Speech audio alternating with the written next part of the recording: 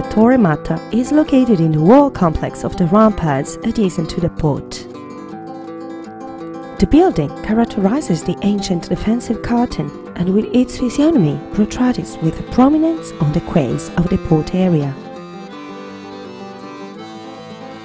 The original decorative corbels are still visible, a legacy of the ancient military decorations.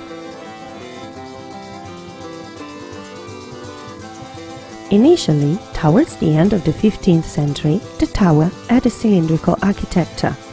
Subsequently, it was covered by a quadrangular shape in order to improve its ballistic efficiency.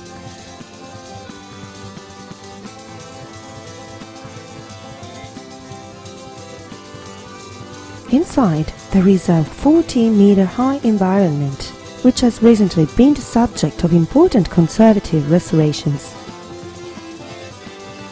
The reconstructions of the 16th century are still visible today and accentuated by the luminous design that enriches the entire structure with value. The spaces are full of charm, ideal for hosting exhibitions, conferences and meetings.